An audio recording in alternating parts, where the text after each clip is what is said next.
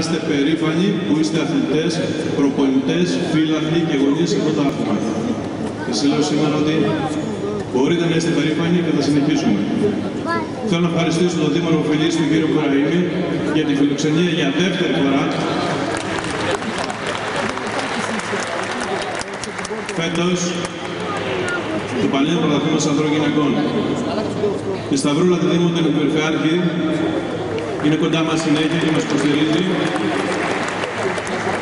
καθώς και τον πρόεδρο του Εθνικού Οργανισμού, τον Κώστας Μαζούρα.